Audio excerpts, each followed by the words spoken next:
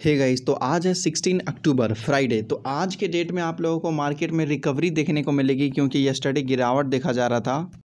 तो ये रहा हमारा निफ्टी। अगर आप यहाँ पर देखोगे तो लगभग कल 2.5 परसेंट के आसपास यहाँ पर गिरावट देखने को मिला और जैसे मार्केट ओपन हुआ था, केवल गिरावट ही गिरावट देखने को मिल रही है। लेकिन कल जो है डाउ जो मतलब अमेरिका मार्केट में रिकवरी देखने को मिली है। तो ये रहा आपके सामने यहाँ पर देख सकते हो। यहाँ पर हमें रिकवरी देखने को मिली है। देखिए, तेज़ी देखने को नहीं मिली है रिकवरी देखने को मिली है।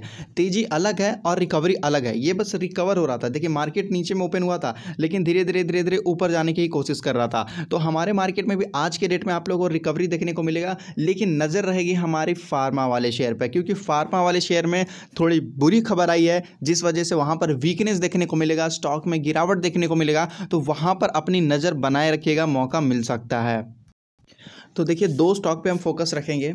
एक तो है डॉक्टर रेड्डी और दूसरा है सिप्ला। देखिए, ऐसा माना जा रहा है कि ये जितने भी ट्रायल कर रहे हैं कोविड नाइन्टीन के लिए, वो ट्रायल फेल होता जा रहा। मतलब अभी तक सक्सेस नहीं मिली है और ये होप धीरे धीरे खत्म हो रहा। ऐसी कंपनियों पे। और जिसके वजह से ये सारे स्टॉक काफ़ी तेज़ी में थे, काफ़ी चर्चे में थे कि भाई कोविड नाइन्टीन का अगर मेडिसिन ला देते हैं तो ये जो अभी आपको फाइव थाउज़ेंड दिख रहा है, पता नहीं एट थाउज़ेंड पर पहुँच जाएगा या नाइन नाइन थाउज़ेंड पर पहुँच जाएगा, वो बोलना मुश्किल है। लेकिन अब क्या हुआ कि थोड़ा सा अपोजिट हो चुका है। कोविड नाइन्टीन का मेडिसिन मिलने की जो होप है और जितने भी ये लोग ट्रायल वगैरह करते जा रहे हैं, वो ट्रायल जो है अनसक्सेसफुल होता नज़र आ रहा है।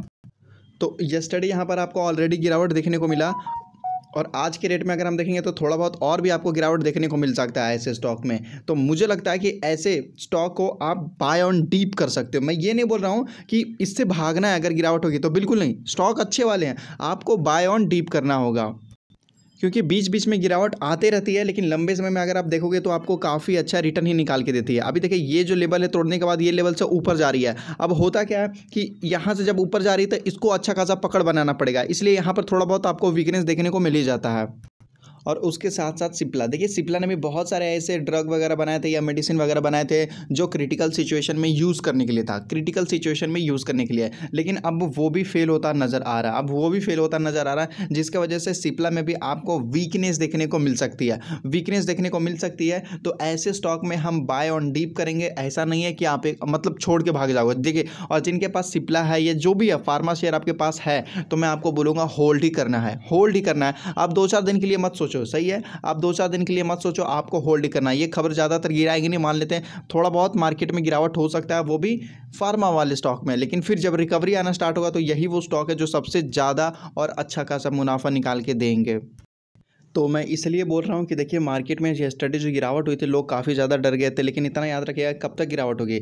फाइनली जो है मार्केट को ऊपर की ओर ही जाना। फाइनली मार्केट को ऊपर की ओर ही जाना है तो ये है निफ्टी फिफ्टी ये है निफ्टी फिफ्टी यहाँ पर देख सकते हैं निफ्टी फिफ्टी में जो अच्छे वाले स्टॉक है, अगर गिरावट होती है तो ख़रीदने की कोशिश कीजिएगा। मेरे मेरे तरफ़ से कौन से कौन से स्टॉक रहेंगे? बजाज फाइनेंस रहेंगे टेक महिंद्रा रहेगा आई बैंक रहेगा, और उसके बाद रहेगा H D F C bank में भी H D F C bank रहेगा, नहीं तो फिर बजाज फिंसर रहेगा। ये जो आपको, ये आपको टॉप लूज़र दिखा रहा हूँ।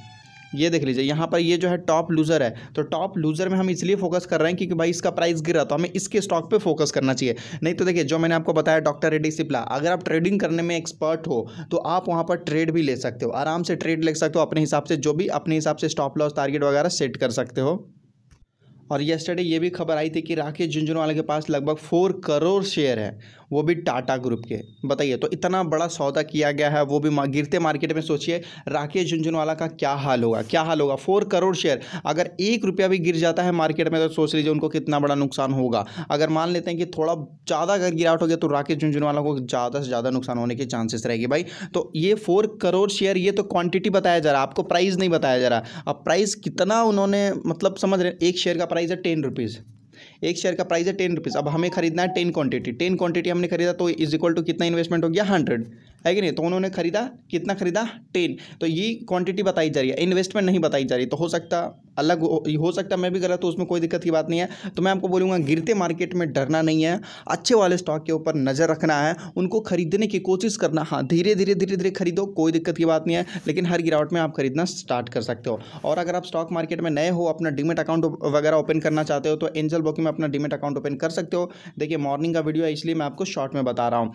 तो एंजल में अपना डिमेट अकाउंट फ्री में हो जाएगा। फ्री के साथ साथ यहाँ पर देख सकते हैं नॉलेज भी मिलना स्टार्ट हो जाएगा। वैसे भी एंजल ज़ीरो था, जैसे जो प्लेटफॉर्म है, ये अच्छे वाले प्लेटफॉर्म है, जहाँ पर आप और आपका पैसा दोनों सेफ़ है।